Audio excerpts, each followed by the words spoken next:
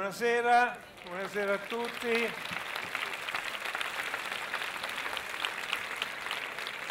Grazie, grazie e eh, benvenuti a questo quattordicesimo premio del Vittoriale e al Vittoriale. Saluto tutte le autorità militari e civili, ma prima di cominciare voglio fare una comunicazione di servizio. In questi giorni circola molto la voce anche sui giornali, anche oggi, che io dirigerò un museo che verrà dedicato a Silvio Berlusconi. Non è assolutamente vero, eh, lo nego soprattutto per la stampa presente e non per motivi politici, ma perché quello sarà un museo di famiglia, quindi che curerà la famiglia secondo eh, i suoi affetti. Eh, Gabriele D'Annunzio ha lasciato il vittoriale degli italiani e i suoi beni agli italiani. Quindi la famiglia di D'Annunzio siete voi, siamo tutti noi. Grazie.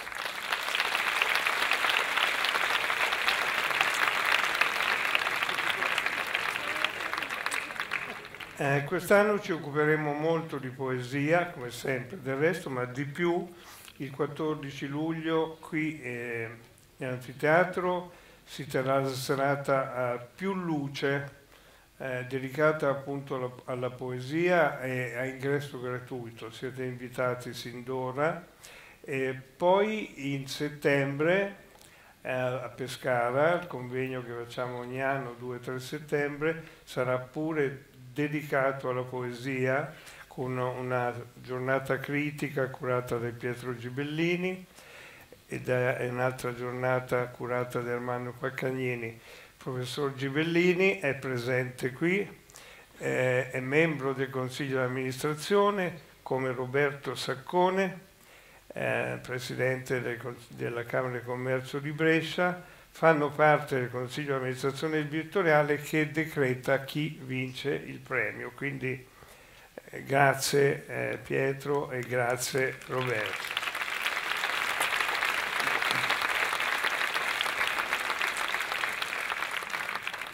Allora, il quattordicesimo premio del Vittoriale viene conferito a Nicola Crocetti.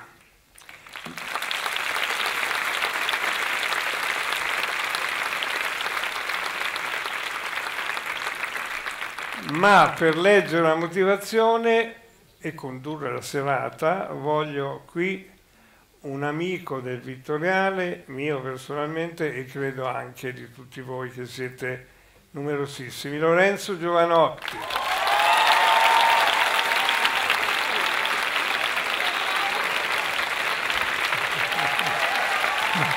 Buonasera. Buonasera, buonasera maestro, buonasera a tutti, buonasera. Buonasera, davvero sono, sono, felice di essere qua, onoratissimo e mi sento molto privilegiato perché eh, con, eh, con, con, Giordano Bruno Guerri abbiamo da poco visitato eh, con lui il, il, Vittoriale, quindi insomma seguendo i suoi racconti, per cui insomma per me è una, è un'esperienza, è una giornata indimenticabile questa perché non c'ero mai stato, una volta ero qui. Eh, No, confer- non c'ero mai stato perché ero qui, ho, mandato, è andata in avanscoperta mia moglie mi ha chiamato e mi ha detto guarda il casino è pieno di gente. Eh, per cui non me lo sarei, divento ingombrante io nei posti, quindi ho detto vabbè ci andrò un'altra volta, anzi in quel momento ho pensato, tanto prima o poi incontrerò Giordano Bruno Guerri. E quindi chiederò a lui, dico ma è possibile vedere un po' il Vittoriale? Quindi so, l'occasione poi si è presentata, sebbene io non sia il protagonista di questa serata, ma sia solamente il, eh, il, eh, il valletto. Il valletto. No, no, ma proprio orgogliosamente lo dico, perché sono qui a, a consegnare questo, questo, premio. Prima però vorrei ringraziarti eh, per, per, per l'invito e anche per per, aver, per aver, pensato al, al premiato, perché eh, lo, lo, ritengo questa tua scelta eh, giusta. Eh, in questo momento del, della storia della nostra cultura, l'idea di premiare comunque il più importante editore di, di poesia che abbiamo è un segno, è un segno che, eh, che mi, mi, mi, commuove, mi commuove da appassionato di, di poesia, da credente nel, nel verso. No? Tu stesso insomma, ci ricordi che D'Annunzio una, un, suo, un, suo, motto, una sua frase è il verso è tutto. Il verso è tutto. Il verso è tutto. Ed è veramente così, quindi insomma premiare uno che del verso ha fatto il suo tutto, eh, rendendolo il suo lavoro, la sua passione, la sua attività, eh, mi sembra semplicemente giusto. Poi farlo qui, in questo luogo importante, prezioso, ehm, io sono un... Eh, uso una parola impropria, ma in realtà la uso apposta, sono un fan di, di D'Annunzio, nel senso che sono un fan come si è un fan di una, di una rockstar, di un, eh, di un, grande personaggio, di un personaggio eh, mirabolante, eh, che però poi contiene anche la grandezza del verso. Quindi D'Annunzio non è solamente un personaggio, no? come molti mm. di noi lo percepiamo, perché è famosissimo, no?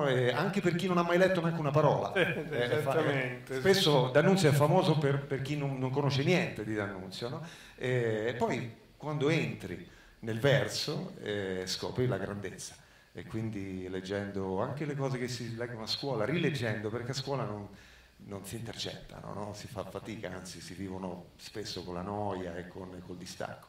Poi invece rileggendolo, come spesso succede con le grandi cose che a scuola non, eh, non, si riescono a beccare, a meno che uno non abbia, non abbia, la fortuna di trovare un professore eccezionale, ma quello fa parte della fortuna mm. e non della, della, normalità, poi si scopre la grandezza. Ma eh, a proposito di grandezza, eh, siamo qui per, per, per consegnare questo premio eh, un premio importante, veramente perché poi è dato da, da Vittoriale a, ad un persona, ad una persona che ha a che fare con la cultura del nostro, del nostro paese. E, stasera c'è una motivazione? C'è una motivazione che ti prego di leggere, guarda, ce l'hai scritta lì sul gobbo, è semplicissima, densa e piena. Ah, leggo io? Sì, a Nicola Crocetti perché perché ha scritto, tradotto, pubblicato, difeso, diffuso e soprattutto amato la poesia. Nicola Crocetti.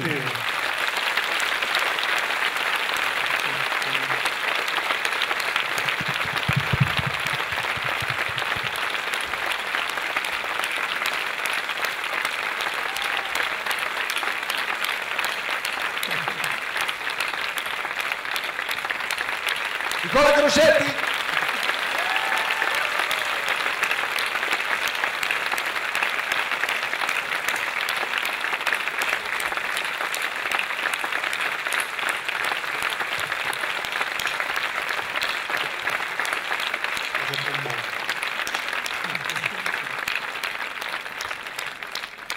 Nicola, oltre questo applauso strepitoso, hai diritto di sederti su questa opera unica di Franco Summa, che è ispirato a una novella di D'Annunzio, e dove si sono seduti, ti giuro, solo i vincitori del premio, mai nessun altro.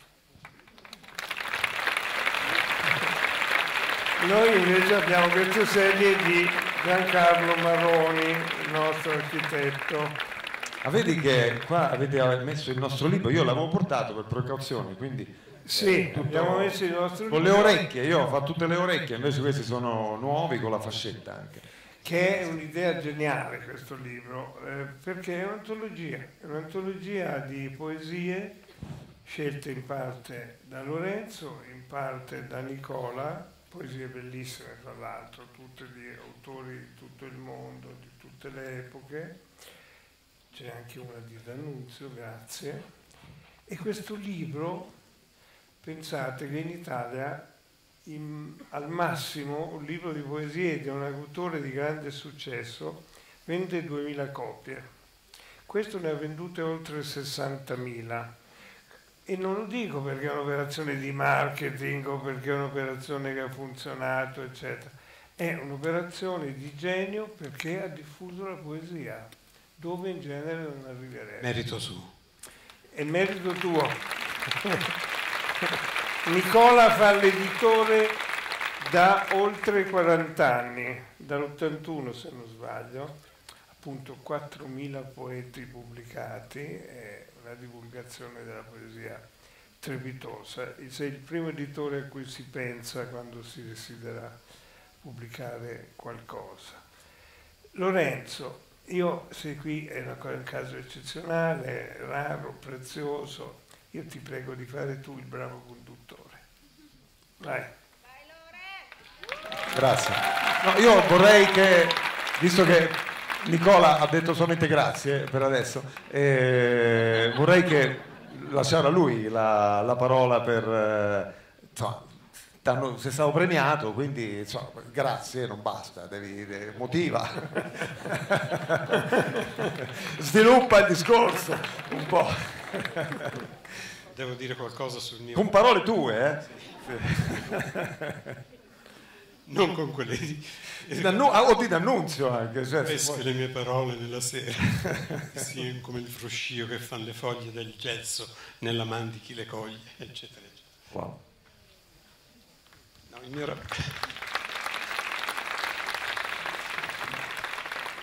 mio rapporto con D'Annunzio è, vista la mia età ormai, è antico.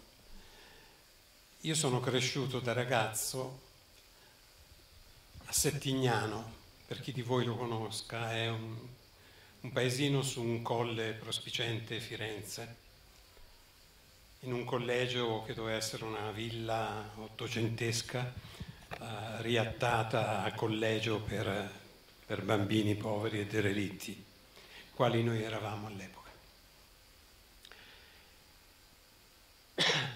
E soglia, alle soglie della, dell'adolescenza, sentivamo parlare a Settignano, perché Settignano, devo dire per chi non lo conosca, a Settignano c'era la villa della Capponcina. E la Capponcina era il buon ritiro di D'Annunzio con la, una delle sue più celebri e più uh, amate amanti, la Eleonora Duse. E alle soglie dell'adolescenza si sentiva parlare di questo uomo famoso, raffinato, pieno di donne. Noi ragazzini. E allora con alcuni miei compagni, uno in particolare, facevamo a gara a chi imparava a memoria più poesie di D'Annunzio. Poi una domenica che avevamo una libera uscita dal collegio, allora erano, i collegi erano peggio dei, peggio delle prigioni, dei carceri, come dicono oggi, delle case circondariali. Una domenica andammo a, ve- a vedere questa famosa capponcina, cerca- a cercare di entrare, a, vedere, a scoprire chissà quali misteri. In realtà c'era un cancello di ferro che la sbarra- sbarrava l'ingresso. E allora noi ragazzini, poco più che decenni, cosa facemmo? Con un chiodo incidemmo i nostri nomi sul cancello. Oggi verresti ci avrebbero, arrestati, ci avrebbero arrestati, ma c'è di buono che i cancelli si ripitturano ogni, ogni poco, quindi insomma. E questo è non solo, ma il collegio dove io stavo, a Settignano, era in via Gabriele D'Annunzio. Si partiva con un filobus da Piazza San Marco, per chi conosce Firenze, e si arrivava su su attraverso un lungo viale, via, viale Gabriele D'Annunzio, appunto fino alla piazza centrale di Settignano. Questo è il mio primo eh, ricordo infantile di, che mi lega ad Annunzio. Mi hai raccontato anche che facevate una gara a chi ne imparava di più. Imparava più poesie, sì, sì. Qual è la tua più amata? C'è una poesia di D'Annunzio che ancora ricordi? Di, la, sera, di, la sera fiesolana, poi cioè un capolavoro sottovalutato è La pioggia nel Pineto, che ci facevano studiare a scuola e che nessuno amava perché ci costringevano a imparare la memoria, ma se tu ci pensi, le, le, le poesie di D'Annunzio sono musica. Assolutamente. E La pioggia nel Pineto è una... Uh, ti fa sentire la pioggia che cade sui tetti e, e sui... Anche quella che abbiamo pubblicato noi, anche l'onda, che fa sempre parte dell'alcione, no? Eh, di, di, quella, di quella mm. Anche l'onda suona come, suona come un... Le parole sono musica. Sono assolutamente musica. Io molte delle parole non le conoscevo. cioè, eh, ma la poesia eh, sono in Chi grado di dei due ha scelto quella poesia? Io, io, l'ho scelta io quella. Eh, ma lui è stato, è stato d'accordo. No, ma in realtà il, la il libro è, è nato prima il titolo del, del libro stesso, per cui il, il titolo ci ha guidato, il titolo Poesie da spiaggia, l'idea comunque di, di- di raccogliere delle poesie che avessero a che fare con l'estate e con la vacanza e con, e con il mare, ehm, ha guidato le, le- le scelte. Poi ci siamo, abbiamo violato un po' questa, questa regola, andato a scegliere anche cose che non, non direttamente sono collegate a quello. E, e quindi l'onda ehm, era, anzi, è stata una delle prime, perché, perché quella poesia lì mi ha, mi ha fatto pensare che, che potevo rivolgermi a lui e, e tentare questa pazzia, perché eh, voi immaginate la scena, insomma, di un, un cantante pop no? che, che- che- scrive una mail a, a Nicola Crocetti eh, pensando che lui ignorasse anche la mia esistenza e anche della musica pop ignorasse l'esistenza cioè che eh, lo imma- lo immaginavo su una poltrona così no? E- Siamo ferrati sulla musica pop. invece sapeva tutto come lui grandi- è ferrato nella- sempre sulla- tutti sulla poe- come tu sei ferrato sulla poesia. tu sapevi tutto, sapevi che- come- anche il mio nome di battesimo, per cui mi ha risposto ciao Lorenzo. Ehm, io gli ho scritto una, una mail proponendogli questa idea, perché in realtà mi- la- la- è, è nato da un'immagine, ho pensato, pensa che bello vedere in una spiaggia sotto un ombrellone qualcuno che, che tiene in mano, invece del giallo dell'estate, eh, tiene in mano un libro di poesie, con la, con la copertina Crocetti, proprio austera, no? riconoscibile, con però scritto Nicola Crocetti e Giovanotti, poesie da spiaggia. Per cui aveva, per me il libro poteva anche non avere nessuna poesia dentro, cioè mi piaceva questo oggetto. No, no, davvero. Eh, è un'opera che, che ha un valore Sì, sì, è un'opera in sé.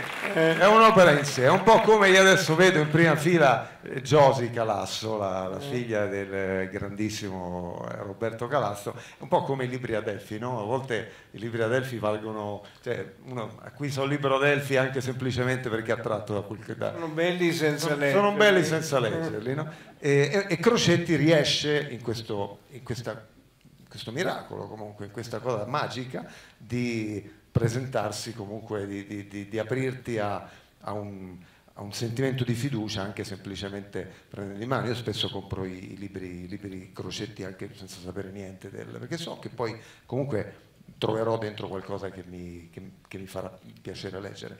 E non io adesso non voglio fare, io sono tra due grandissimi, davvero lo dico. E, e questo mi succede, io te- l'ho già detto oggi quando ci siamo incontrati, lo faccio con i tuoi libri, cioè i libri di Giordano Bruno Guerra io me li compro.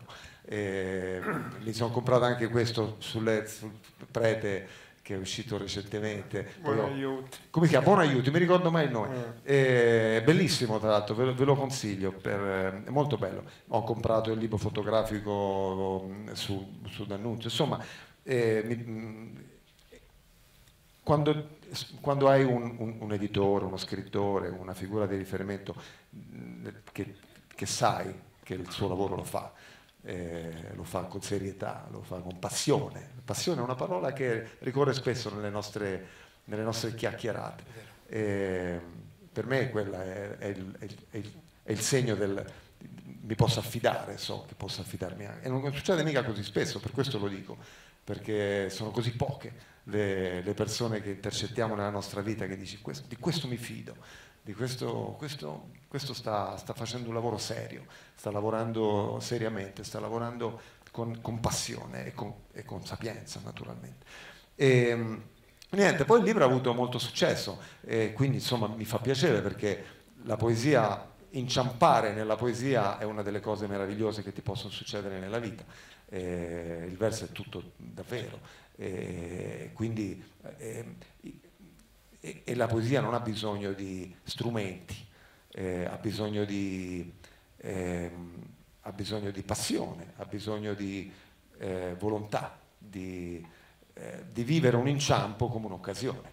Per cui eh, quando, quando incontri la poesia la tua vita eh, si apre a nuove possibilità, si apre a, al, alla meraviglia soprattutto, eh, alla profondità. Eh, quindi per me, sapendo di avere questa possibilità di intercettare altri che magari si rivolgono a me, non per la poesia, ma per il divertimento, per, il, per, la musica, per passare una bella serata, l'idea che, che, possa diventare un cavallo di Troia in quel momento, per far entrare nella vita di qualcuno un, un verso, un, una poesia, mi è sembrato eh, bello, giusto, e quindi quando poi il libro ho visto che addirittura nella classifica dei libri, un libro di poesia non c'è mai nella classifica dei libri, ho detto bingo, ce l'abbiamo fatta, abbiamo fatto una figata, infatti poi io ho già detto facciamo un altro. Ecco, adesso che ti sei definito cavallo di Troia, sembra cavallo, eh, c'è un cavallo lì.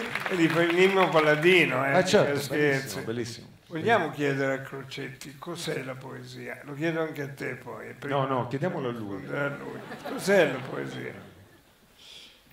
Cos'è? Perché noi diciamo poesia, poesia l'abbiamo citata mille volte senza mai definirla. Ci sono migliaia di definizioni, eh. e a cosa serve la poesia? Ecco. Dacci la tua.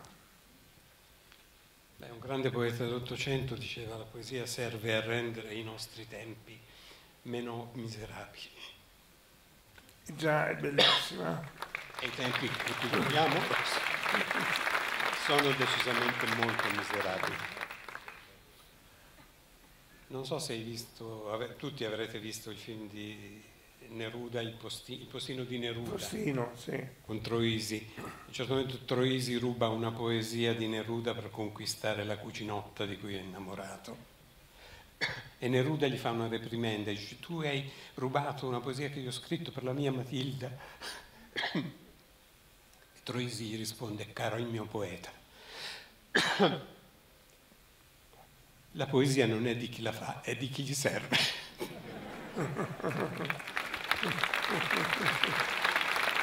La poesia serve anche a quello, eh? serve anche a conquistare la persona amata o a mille altre cose. E tu hai, hai scelto di, di, essere un editore di poesia con quello spirito di Troisi, ovvero per, eh, per, per sedurre No. no, ma per sedurre anche un, un mondo, eh? non, non, necessariamente una persona. Per, per, una passione antica. Una cosa che volevo dire di D'Annunzio, che forse nemmeno tu Giordano Bruno conosci, forse, anche se tu sai tutto. Ai tempi di D'Annunzio, D'Annunzio aveva un rivale, amico rivale, che era Pascoli. Eh. Erano entrambi molto famosi e i fan si dividevano in due schiere su chi eh, lo consideravano il più grande poeta italiano allora vivente. E io che ho conosciuto centinaia, per non dire migliaia di poeti, centinaia li ho conosciuti di persona, migliaia li ho pubblicati, nessun poeta è disposto ad ammettere che un altro poeta è più bravo di lui. E naturalmente neanche Pascoli e D'Annunzio erano disposti ad ammettere che uno dei due era più bravo di lui.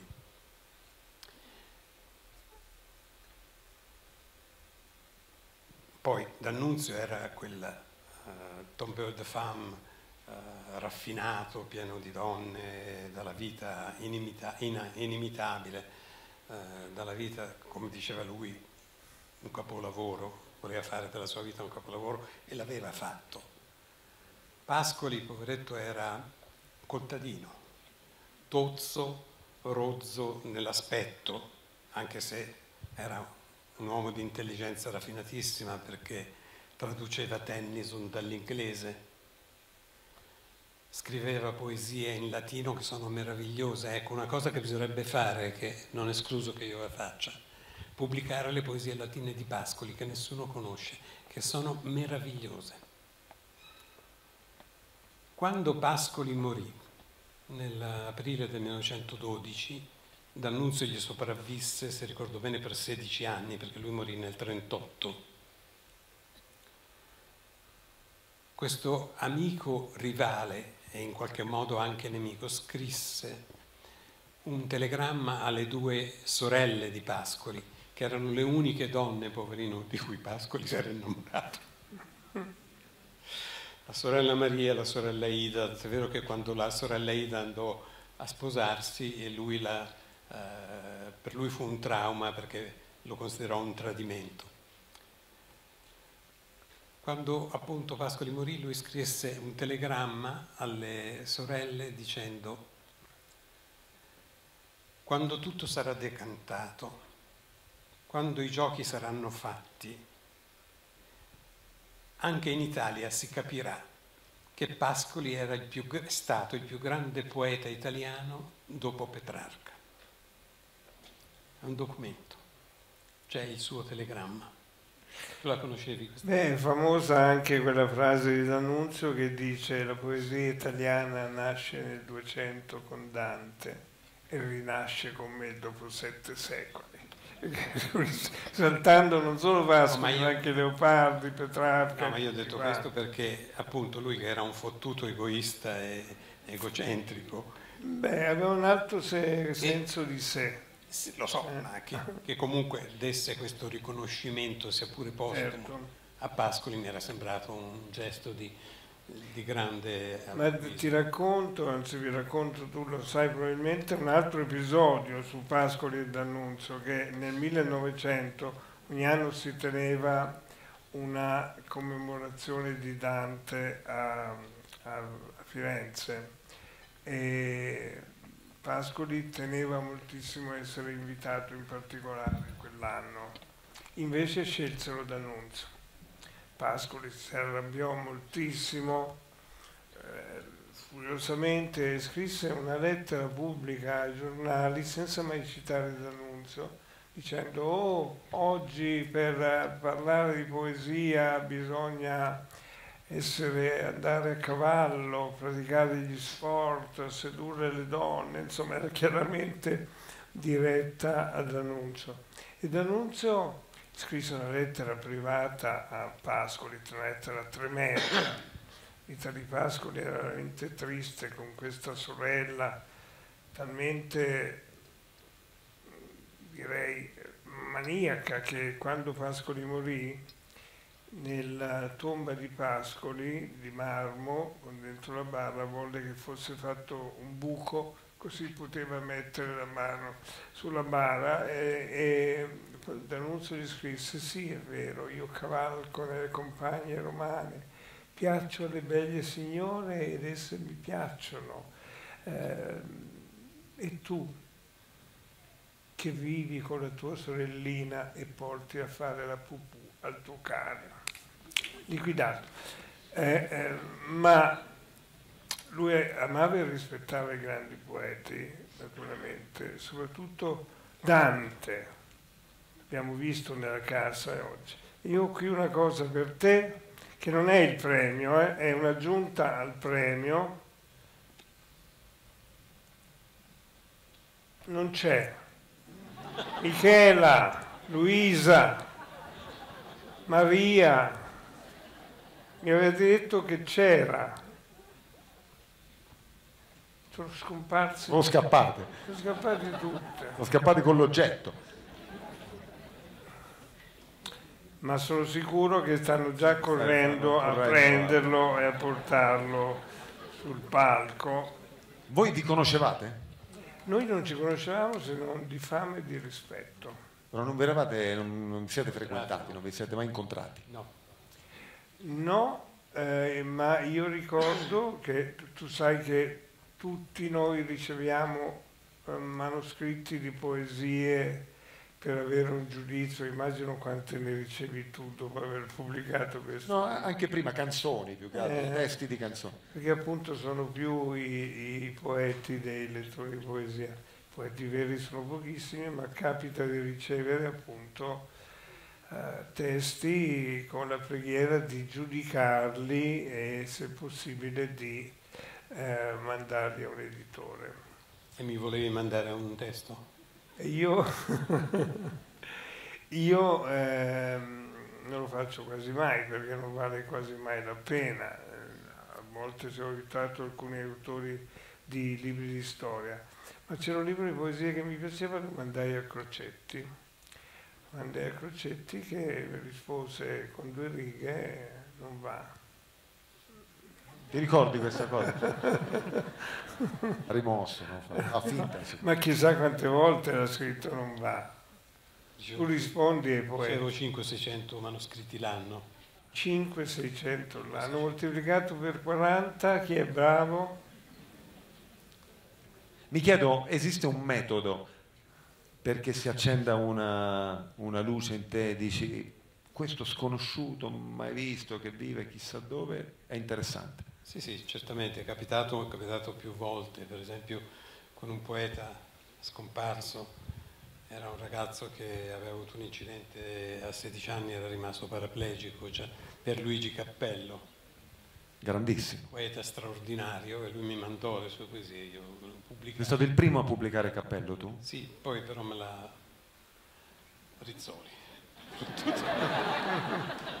Cos'è questo gesto? Non capisco, questa gestualità arcaica. Che un altro editore più abbiente. Sai, loro hanno le sirene dei loro contratti, no? i grandi editori, e quindi Ah, ecco di corsa. Grazie, grazie Francesca. Allora, nel 1921 c'era il centenario della morte di Dante. D'Annunzio che adorava Dante, non andò alla- al funerale, come non andò a quello di Pascoli e non andò a quello di, di Carducci. Non amava i funerali, francamente neanch'io. Eh, Certo. ah, quello di Soprattutto il protagonista, non le- quello che l'ama meno, secondo me. io, Però, eh, io se potessi non, Ed è indifeso in quelle occasioni, gli vanno gli di tocca. io se potessi non andrei neanche al mio.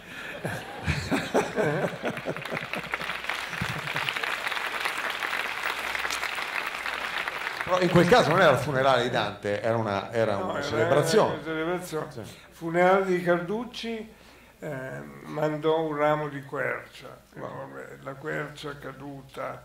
Eh, Carducci aveva vinto l'anno prima il premio Nobel ed era il Vate Carducci, il Vate d'Italia.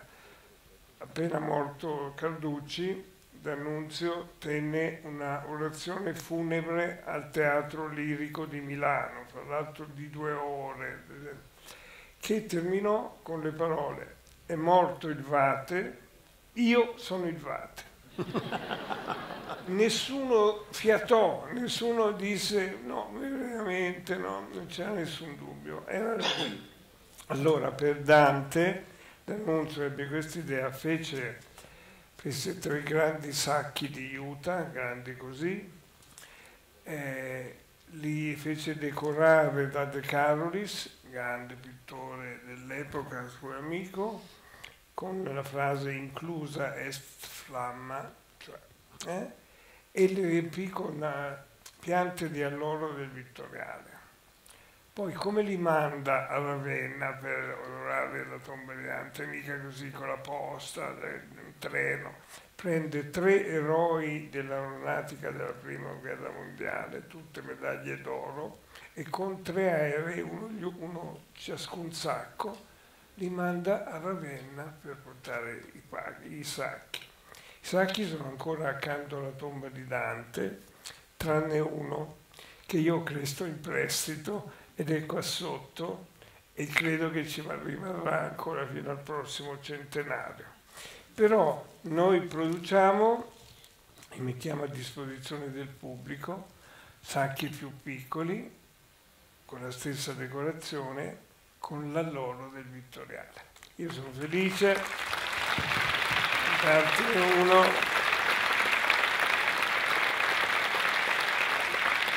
e di darne uno a Lorenzo. Grazie. Può servire anche per cucinare, è buonissimo. Eh, Io lo mastico la loro a volte, sai? Sì? La pizia, le pizie, eh, prima di eh, eh, enunciare il, eh, l'oracolo, masticavano foglie, foglie di alloro. Io ci ho provato pensando che avesse un potere psicoattivo. Niente. Zero. È velenoso. hai provato a fumarlo? Sai che è No, velenoso. no, io non fumo, per cui no, ero proprio incuriosito perché ho letto in un libro che, che le pizze eh, eh, si- Ma sai che è velenoso l'alloro? e me l'hanno detto, però io sono ancora qua. Cioè, Quindi non è vero, cioè, a meno che io non abbia un, un mio personale eh, antidoto congenito. Però, beh, poi velenoso si usa in cucina, no? Normalmente. Certo. Metti una foglia d'alloro. Eh, certo, certo. Fantastico. Perché si usa l'alloro come simbolo della poesia? Non lo so, forse perché la mettevano in testa Il re corona. C'è, ma un, c'è un motivo legato mitologico probabilmente? Nella Grecia antica l'alloro era, era la, la pianta di Apollo. Ah, quindi certo. certo.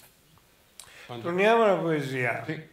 Una curiosità che ho saputo di questo libro che mi ha detto, vi avete detto voi, che a un certo punto vi siete accorti che mancava Ezra Pound.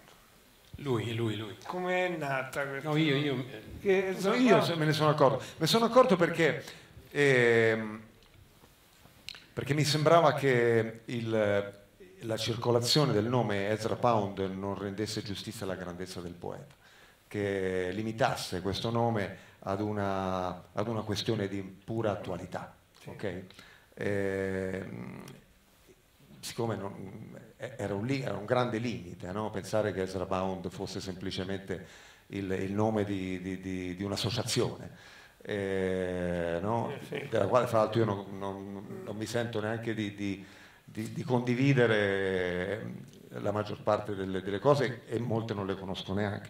Eh, però invece ehm, i cantos mi hanno sempre dato perlomeno la sensazione di essere di fronte a qualcosa di molto grande, eh, di qualcosa di per me molto difficile, ma sicuramente molto grande, come tante delle cose che non si capiscono. A volte di fronte alle cose che non si capiscono ci limitiamo a dire non mi piacciono, perché non le capisci, ma alcune di queste cose comunque continuano a risuonare, continuava a risuonare dentro di me la sensazione che- di essere di fronte a qualcosa di, di grande, a una grande, a una grande poesia, a una personalità gigantesca.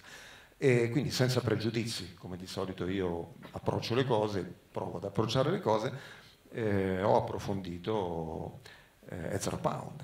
Eh, grazie alla nuova tecnologia e alla possibilità di vedere delle sue cose su YouTube, per esempio, no? oggi viene offerta con piacere, no? una volta c'era solamente fuori orario È un lusso di- straordinario. è un lusso straordinario, quindi vedere l'intervista di Pasolini a Ezra Pound che c'è su YouTube è, è fantastico, è un meraviglioso pezzo di, di storia della, della cultura italiana. E sentire lui che recita una sua poesia in italiano. E quindi eh, ho, ho- ho proposto a Nicola, dobbiamo mettere Ezra Pound, ci vuole qualcosa di Ezra Pound, troviamo qualcosa di...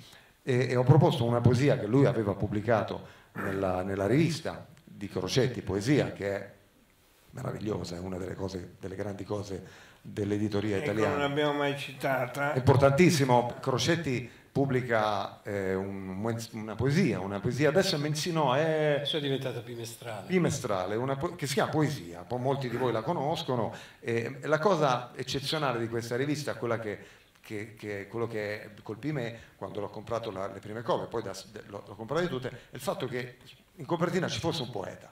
Cioè, di solito come sorrisi e canzoni, cioè nel senso che lì c'è un cantante o un personaggio in tv, in una, poesia, in una rivista che si chiama Poesia, c'è la foto o l'immagine di, di un poeta.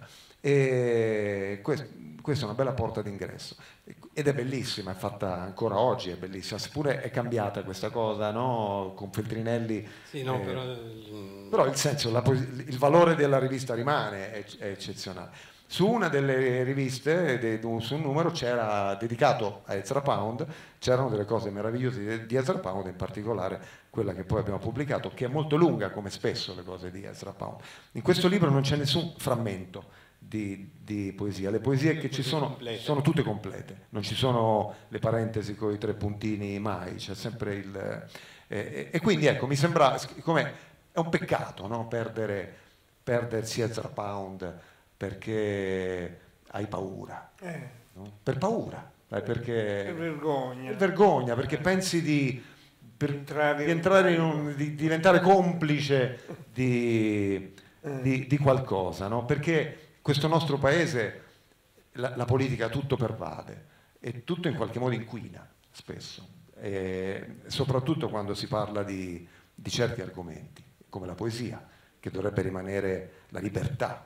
Nessuno dovrebbe mettere mai un cappello su un poeta, no? mai dovrebbe, eh, per rispetto, per rispetto, per, per rispetto della libertà del, del, poeta. Poi parlando di D'Annunzio soprattutto. No? Scusi. Come se eh, leggendo D'Annunzio uno diventasse una maniero sessuale, si sì, le cose. Poi questo rischio esiste culturalmente, eh, no? soprattutto nella cultura popolare, eh, è un po' come quando io mi ricordo il, il, il, mio babbo che era un democristiano di ferro, non voleva che quando c'era la festa dell'unità a Cortona, nel nostro paese d'estate, noi non ci dovevamo neanche avvicinare a, a giardinetti dove c'era la, la festa dell'unità. Lui proprio diceva, voi potete andare ovunque, anche farvi male, anche andare a arrampicarvi sui muri, ma quel, quella, lì, quella strada lì non ci dovete andare. Poi io naturalmente ci andavo. Per le salsicce. Perché era, il profumo era buono, c'era bella musica, si ballava, quindi insomma non c'era nessun aspetto ideologico, però per lui era una questione di principio. Proprio perché c'era questa sensazione che tu, anche semplicemente vedendo i figli di mio padre lì, potessi pensare. Questo accade nel nostro paese. L'altro giorno leggevo questa cosa che mi ha che ho detto, ecco, questo, questo, è, questo è proprio racconta questa cosa di cui stavo parlando. Ehm, un politico che dice adesso dobbiamo fare una serie televisiva su Fiume. Eh, lo so, ho sentito. Bene, non spetta a un politico dire questo. Non spetta a un politico perché vuol dire già entrare in un ambito di propaganda politica mentre la vicenda di Fiume non ha niente a che fare, è una vicenda da un punto di che, che andrebbe fatta, deve, andrebbe affrontata con un grande regista, con un grandissimo autore, di, di un grande sceneggiatore, ma uno, deve essere un'opera d'arte, non può essere un, un'opera di divulgazione o di propaganda per la parte politica in, in, in carica, come si dicono in questo momento. Questo vale per tutte le parti politiche, ha, è, un, è, un, discorso... Eh, generale, proprio perché rischia quella cosa di diventare una bandierina. E...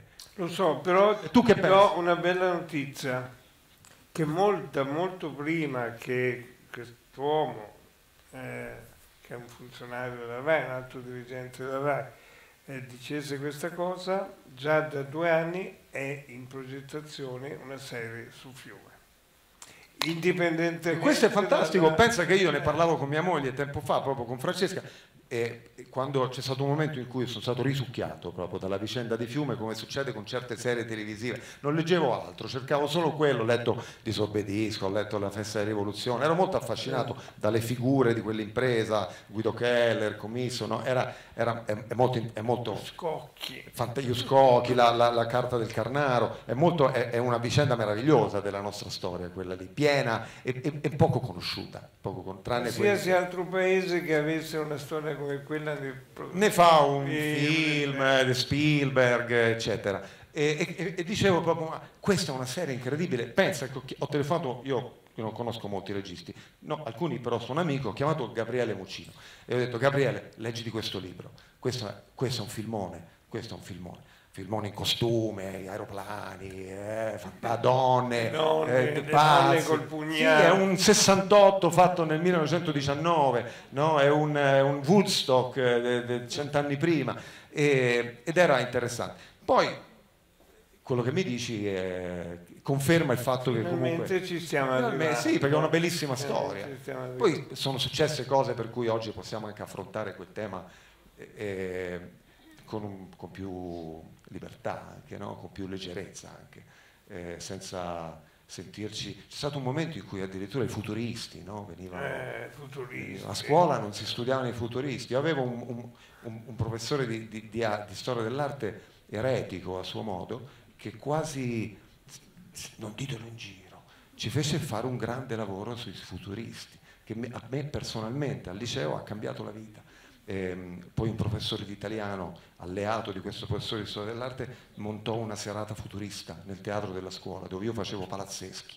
E, e per me quello è stato l'inizio della, della, del rapporto con le parole musicate, con, le parole con la parola che viene prima del significato, cioè col suono della parola, che poi è una cosa naturale, no? da bambino uno emette i suoni prima ancora di sapere cosa vogliono dire quei suoni lì. No? E, quindi il futurismo, spesso mi domandavo perché il futurismo non è eh, celebrato come, Come dovrebbe. come dovrebbe, una- è forse il movimento italiana. artistico italiano più importante, Eh. no? ed è italiano. Dopo il barocco. Sì, sì, de- del Novecento intendo io, il più importante del Novecento. E niente, quindi scusate, sono stato un po', un po' lungo, ma mi faceva piacere. Non sei d'accordo? Sono contento se non sei d'accordo, eh, perché No, no, ti volevo rassicurare sul fatto che i politici non metteranno mai le mani sui poeti, perché sono troppo ignoranti, non li conoscono.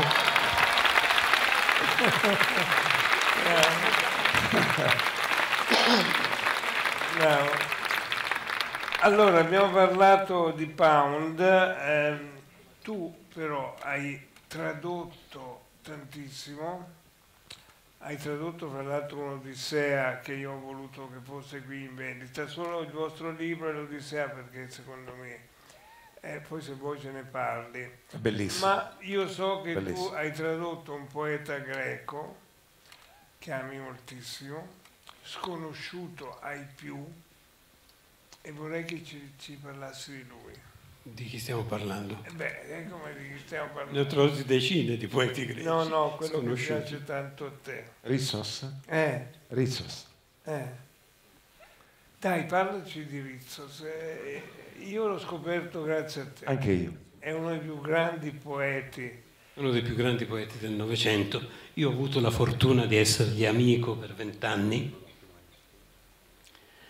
È una storia, se posso raccontarla, un- molto, molto bella. No, no, stai buona, stai buona. C'è anche qui. Una strepitosa di Rizos, ora la cerco. Ecco, leggila, vai intanto Dai, intanto Così che apri- sappiamo di cosa parliamo. No, no, lascia, lascia. lascia. Grazie. Ecco, teniamola aperta.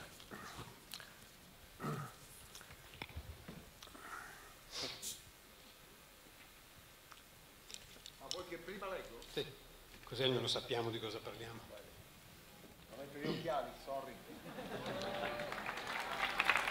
Comunque ho fatto ieri mattina l'esame della vista, mi hanno detto che sono esattamente come l'anno prima, per cui perfetto. Da uno, te me ne mancava uno, me ne mancava uno anche stanno, quindi ho gioito per questa cosa.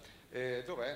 Te lo ricordi dove a metà più o meno? Lo cerco io da... Eh, scusate la, l'impasse. Eh, sono tante. Quante sono le poesie della raccolta? Questo. Vogliamo dire? 107, 117, 117, 120. 117. Quindi di 117 poeti. No, qualcuno ricorre un paio di volte. Rizzos per, Rizzos, per esempio credo che ricorra un paio di volte, Cavafis ricorre un paio di volte. Scusate eh ragazzi. Cinquanta- Eh, sanno tutto, 58. Oh, vedi. Al buio poi, eh, ti hanno detto. Qual è? E io dormo ancora. Ah, Ok. Cioè non ha un titolo, eh, però di solito quando non ha un titolo il titolo è il primo, primo verso. primo verso, no? Eh, una poesia d'amore. una poesia d'amore. Leggo io? Leggila tu, dai. No, no, no. Leggo io, ok. Eh, io dormo ancora, sento che ti lavi i denti in bagno. In questo rumore ci sono fiumi, alberi, un monte con una chiesetta bianca, un gregge di pecore sull'erba. Ne sento i campanelli, due cavalli rossi, una bandiera sul poggiolo della torre, un uccello sul comignolo, un'ape ronza in una rosa, la rosa trema. Ah, quanto tardi. E ora non cominciare a pettinarti perché dormo, ti dico, aspettando la tua bocca. Non voglio odore di menta nella tua saliva. Se mi sveglio, pettini e pettinini e spazzolini dalla finestra, te li butto.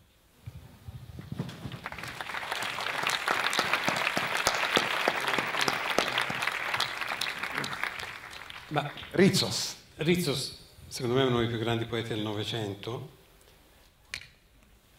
avuto la sventura di scrivere in questa lingua. Allora, io detesto i burocrati e i burocrati di Bruxelles sono i peggiori che si possono immaginare. Ma no, non voglio fare politica, ma semplicemente perché hanno, perché dico questo? Perché hanno definito il greco lingua minoritaria. Cioè, a me suona come una bestemmia, che il greco, il greco è la madre di tutte le lingue, è la più bella di tutte le lingue anche, secondo me, è la più ricca, cosa che pochissimi sanno, il greco ha un milione e mezzo di lemmi, nemmeno l'inglese, tanto per dire. Loro la definiscono una lingua minoritaria, no? spregiativamente, ma sono ignoranti. Rizos era un poeta di sinistra, anzi era comunista, e la Grecia ha avuto nella sua travagliata storia più di una decina di colpi di Stato fra tentati e riusciti, tutti di marca fascista o peggio. E ogni volta che andava su un governo fascista, il che succedeva ogni pochi anni, prendevano tutti gli, gli intellettuali di sinistra o supposti tali, qualcuno non lo era, e li mandavano in campi di concentramento, in isole remote che allora erano, erano isole anche poco conosciute, per esempio sono delle isole, eh, c'è un'isola che è in the middle of nowhere proprio, si chiama Aistratis, Aios Estratius, che adesso eh, dove io pensavo di andarmi a ritirare, perché eh, ci sono 200 abitanti e un traghetto che ci va una volta al, al mese, quindi cosa di meglio. Però una giornalista l'ha scoperta, ha, fatto, ha scritto degli articoli sul giornale e addio, addio ai stratis. Rizzo si è fatto tutte le isole, campi di concentramento, Estratis, Macronisos, uh, Iaros, Leros, uh, quella dove c'era un più famoso manicomio d'Europa, come si chiamava? Se le fatte tutte. Io mi ero, avevo conosciuto, letto in greco le poesie di quest'uomo che all'epoca era completamente sconosciuto in Italia. E frequentavo un gruppo di eh, esuli greci Ehm, tutti eh, nemici accaniti del regime che allora era quello, il regime il cosiddetto dei colonnelli, perché avevano fatto un colpo di Stato dei colonnelli e avevano, avevano imposto un regime pazzesco, vietavano le minigonne, i capelli, i capelli lunghi, vietavano la, la, lettura di Tolstoi, vietavano la lettura dei, dei, dei, dei maggiori scrittori europei. E, e Rizzo si era totalmente sconosciuto in Italia, allora mi sono messo a tradurlo, ho cominciato a tradurlo, ho pubblicato il suo primo libro in Italia che consisteva di una serie di poesie che lui aveva scritto in un campo di concentramento e, le aveva nascoste dentro delle bottiglie vuote, sotterrate e anni dopo alcuni amici suoi sono andati a recuperarle. E l'ambiente che frequentavo, che era quello dei fuoriusciti greci, che non potevano più rientrare in Grecia perché erano considerati eh, nemici del popolo, qualcuno addirittura gli avevano tolto la cittadinanza, per cui era apolide, che non c'è niente di peggio che essere apolide perché tu non hai passaporto, non hai patria, non hai casa, non hai nulla. A un certo momento viene fuori la notizia che Rizzos è morto. panico fra gli amici greci, eh, all'epoca non c'era, parlo del 68, no del 70, 70, non c'era la teleselezione con la Grecia, non c'erano le, le comunicazioni facili che ci sono oggi ovviamente, quindi dice, qualcuno deve andare giù a vedere, a controllare se, se Rizzo è morto. Allora dice, tocca a te perché tu sei italiano e non rischi niente. Dico sì, ma io mi sono mischiato a tutti voi, eh, le spie delle, dei, de, della polizia greca mi hanno segnalato, anzi questo lo sapevo per certo perché mi arrivavano lettere dalla, dalla Grecia, non azzardarti a venire perché sei ricercato e guai a te se, se vieni. E io dicevo, ma io non posso rischiare di essere, ci devi andare. E allora prendo il coraggio a quattro mani e vado c'era una partita di calcio Italia-Grecia ad Atene credo finì 2 a 1 per, non mi ricordo, per una delle due squadre, 2 a 1 per la Grecia forse. Mi infilai nell'aereo dei, dei, dei giocatori di calcio che andavano ad Atene, un venerdì partì e dissi ai colleghi giornalisti guardate che io rischio di essere arrestato, se mi arrestano fate casino perché? Arriviamo alla, al controllo della polizia che allora era molto chiusa, avevano un librone nero che ogni passaporto che gli veniva consegnato veniva sfogliato alla ricerca di possibili dissidenti. Arriva il mio turno, io arrivo lì con il mio passaporto italiano e anche un po' di tremarella perché ero sicurissimo di essere compreso nel loro libro nero.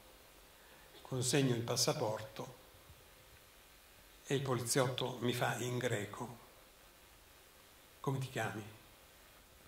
E io rimango così perché non mi aspettavo una domanda del genere, come fa a sapere che io sono greco? E quindi non rispondo. Lui pensando che io non, non capissi, mi dice in inglese, what's your name?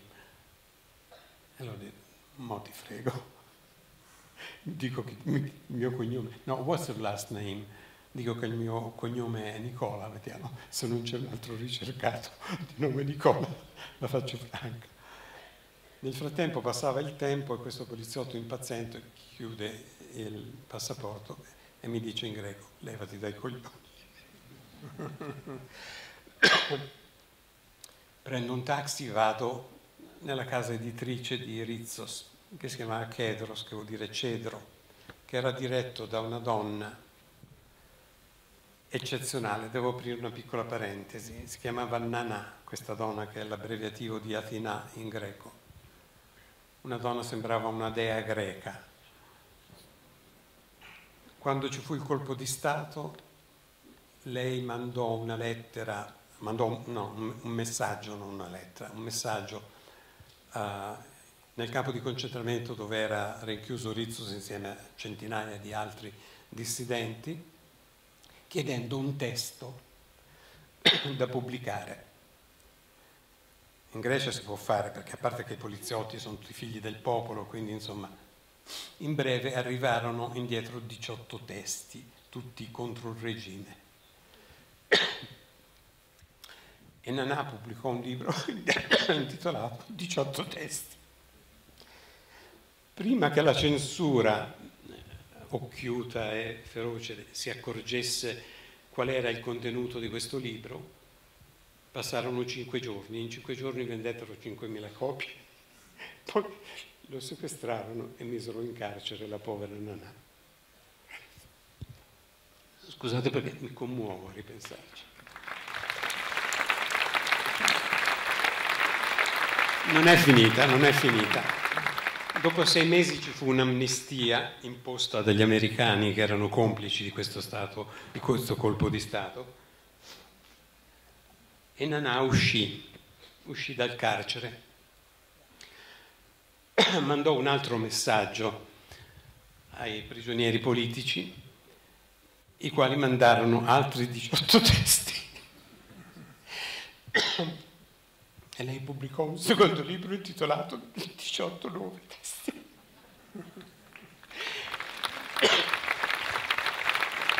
Capito che gente c'era in Grecia, che donne c'erano in Grecia. Ecco.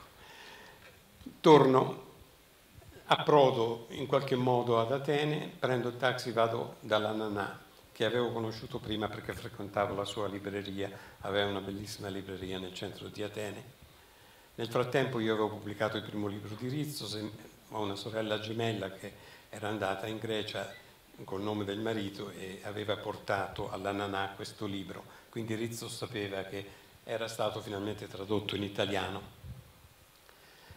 Dico sono il traduttore di Rizzo, ah, lei mi abbraccia, baci, dice, cosa fai qui? Dico sono venuto a trovare Rizzo, corre voce che sia morto, dice no, non è, non è morto ma è a domicilio coatto perché aveva avuto un, un, cancro, era stato operato in un ospedale militare di Atene e l'avevano mandato a casa della moglie che era medico per paura che gli, che gli morisse in, in, in, campo di concentramento e, ne, e, diventasse un eroe. e quindi l'avevano mandato a casa della moglie che era appunto una nota, era la, la, più famosa dottoressa di Samo perché era il medico condotto di Samo. E Nanani dice guarda prendi l'aereo, vai. No, dice non puoi andare lì perché ti arrestano. Dico ma io sono venuto fin qua e adesso non vado a Samo, figurati. Prendo l'aereo, vado a Samo, ma Nanà mi mette sull'avviso, dice guarda che eh, prendi, arrivi dalla parte opposta della casa di Rizzos, dove c'era l'ambulatorio della moglie e il tassista ti farà l'interrogatorio perché sono tutti spie della polizia, ti dirà tu che fai qui, vieni da Atene e devi dire vado a farmi visitare dalla dottoressa Rizzu, Rizzu si dice in greco per il genitivo, e quello ti dirà ma vieni da Atene a farti visitare in una cittadina di provincia, devi dire che hai questa strana malattia di cui la signora Rizzus è specialista. E avviene tutto come previsto. Arrivo da, e mi dice però stai attento perché lui ha la guardia 24 ore al giorno davanti alla porta di casa. Domicilio coatto non è come gli arresti domiciliari che puoi uscire e farti un giretto quando vuoi, c'era la guardia 24 ore al giorno davanti alla porta. Arrivo, non c'è nessuno davanti alla porta, suono, lui mi apre uno spiraglio, si guarda intorno e dice ma non c'è nessuno, dico no, ci sarà andato a pisciare è imbroccato il momento in cui la guardia probabilmente era andato a fare i suoi bisogni. Quindi entro dentro, mi tiene dentro uh, segregato tre giorni, diventiamo amici e siamo rimasti amici per vent'anni. Questo era Rizzos.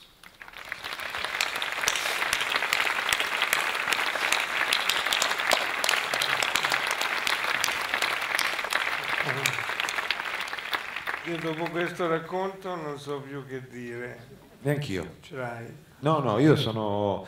Eh, non avevo conosciuto questo racconto, ma ho, ho, un regalo che mi ha fatto Nicola quando poi è uscito il libro, mi ha regalato un, un sasso eh, disegnato da Rizsos, perché lui nel campo di concentramento disegnava, faceva dei piccoli disegnini eh, su, su, sui ciottoli, proprio su, sui sassi. Siccome non lui, avevano ca- carta, non c'era carta e... Lui mm, scriveva la poesia sui eh, pacchetti di sigarette, perché i pacchetti di sigarette greche avevano un foglio bianco eh, insieme a una carta argentata che avvolgeva le sigarette. Toglievi la carta argentata e ti rimaneva un bel foglio bianco su cui potevi scrivere tutto quello che volevi. Tu hai mai scritto poesie? A 14 anni. 14 anni seduto sulla testa di Lorenzo Viani, una grande scultura che c'era sul molo di Viareggio dove abitavo e ho scritto una poesia sui gabbiani. Poi mi sono accorto che era estremamente simile a quella, a quella di Cardarelli. E, non l'ho più ceduto. Alla... Ma per caso era simile? Conoscevi quella di Cardarelli? Conoscevo quella di Cardarelli e avevo cercato in realtà di imitarlo, di fare un doppione, un prestito della di memoria, farlo meglio. Bene. Io non so dove i gabbiani abbiano il nido, dove trovino pace. Io sono come loro, la vita la sfioro. Questo è Cardarelli o sei tu? Era Cardarelli. Ah, questo è Cardarelli, ok. Bene, io sono molto contento di aver partecipato, mi, mi, avrebbe fatto lo stesso piacere partecipare in platea perché per me, eh, vi ripeto, sarei venuto volentieri anche ad assistere semplicemente a, a, alla serata. Sono eh, molto, molto, contento di, di, essere qua, sono felice per, per Nicola perché eh, prima di andare a ritirarti nell'isoletta lì di Rissos eh, c'è da fare un po' di... Possiamo dire questo grande progetto Assolutamente. che stai per, per pubblicare? Eh, esce a Natale, come esce, esce, a Natale, me, la, me, l'ha detto poco fa, questo direi che è una, è una, è una notizia, è una notizia, siete amanti della poesia, perché 1500 pagine, un, un volume che uscirà a Natale, eh, che è un'antologia della poesia universale, quindi l'idea che comunque Crocetti eh, abbia raccolto, sono tantissime poesie immagino, le, le più, cioè un'antologia, la sua antologia. A un certo punto io ho scoperto da, da, da, da, ignorante che la parola antologia ha a che fare con i fiori. Certo. eh, che non lo, non lo sapevo. No? Antologia sono quelle parole che uno sente dire mille volte, eh, poi antologia sono la composizione di mazzi di fiori, no? ha a che fare con la composizione di mazzi di fiori, quindi è bello, l'antologia è proprio una cosa personale, non esiste l'antologia perfetta, eh, come non esiste il mazzo di fiori perfetto, esiste il mazzo di fiori regalato con amore, quindi immagino che sarà pieno di, di amore, di amore di una vita, eh, quindi insomma io non vedo l'ora di di, di averlo tra le, tra le, mani. Uscirà sotto 1500 pagine. 1500 pagine. Eh no. Se poi vi capita, se posso darvi, visto che il, il premiato è Crocetti, se volete affrontare l'estate eh, con un libro importante e leggete l'Odissea di Kazantzakis tradotta da Crocetti, 33.000 versi. 33.133. 33.333, che è uno scioglilingue, quello dei, dei Trentini, no? 33, eh, però sono tantissimi, è un libro molto, ed è un vero rip. Lorenzo, io ti sono grato di alzare il livello della cultura popolare italiana. Grazie di abbassarlo quello. Eh, e la tua presenza qui stasera dimostra la tua a me, fa, a me fa, mi, fa, mi fa piacere proprio. E, sono, io sono molto grato a te per tutte le cose, anche per quello che hai fatto di questo posto. Va bene, Grazie. adesso diamo il premio. Direi Vai. che è giunto. Io il valletto lo consegna. Eh, eccolo qua. Sì,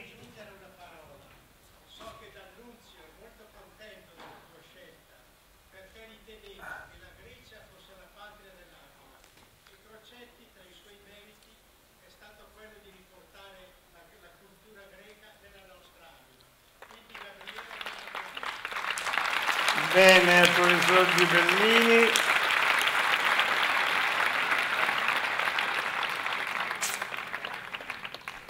Allora che lo apriamo. La riproduzione del cavallo blu di Mimmo Paladino.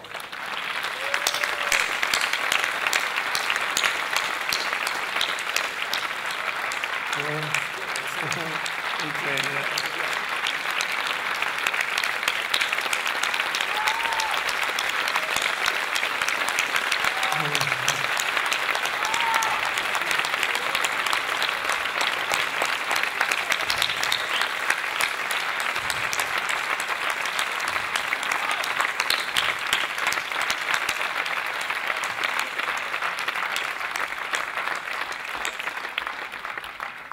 Lorenzo, se continui così, forse fra 30 anni, chissà.